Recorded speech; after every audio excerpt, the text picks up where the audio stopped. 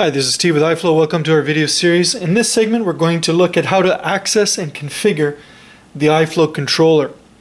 So on the iFlow PCB, uh, there is a display, a 22 segment LED, uh, LED display, and below the display, there are four buttons. On the left, you have mode, on the very right, you have enter, and in between, you have up and down.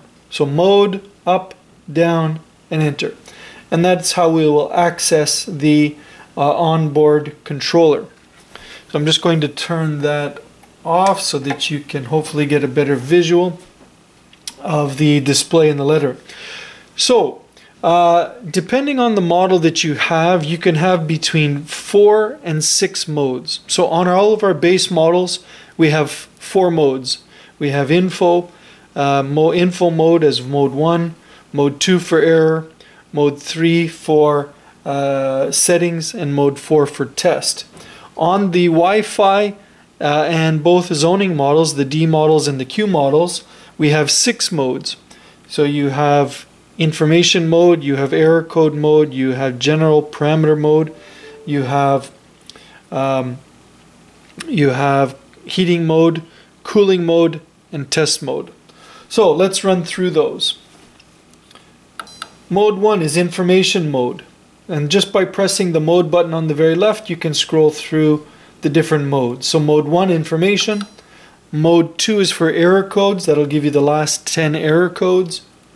Mode 3 is for general parameter settings. Mode 4 for heating settings. Mode 5 is for cooling settings. And mode 6 is for testing.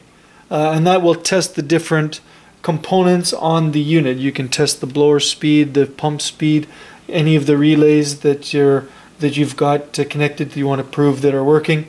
You would do that through test mode.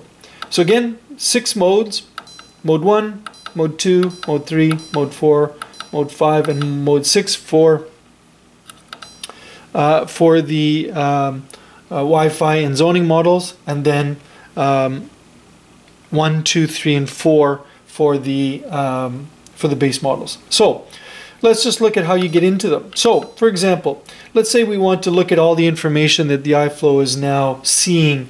We go to information mode. So again, mode button to mode one. And we press enter. We press enter to enter the actual uh, mode. So now we've entered mode one and we're at parameter one and we have the value on the right. So parameter one of mode one and the value of that parameter on the right. And then we can scroll up using the up arrow. This is parameter 2 in info mode, parameter 3 in info mode, parameter 4 in info mode, parameter 5 in info mode, etc. Then we can scroll through and, and see all the information that we want.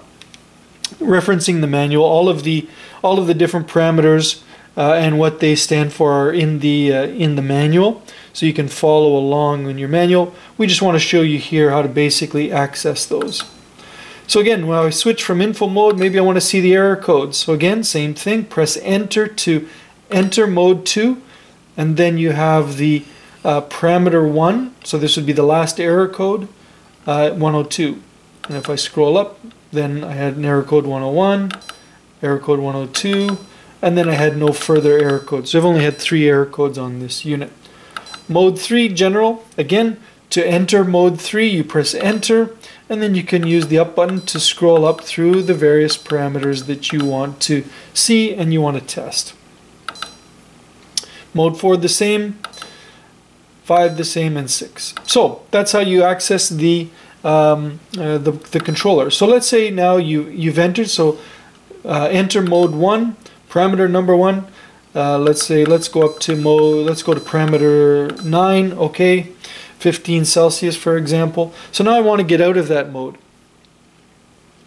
All I do is press the information button. Right? and if I press it multiple times then it'll go off. So you don't have to um, there's nothing you need to do to leave the mode. Just press the mode button until until the screen goes blank and you're out of information mode. So that's how you access the controller. Thank you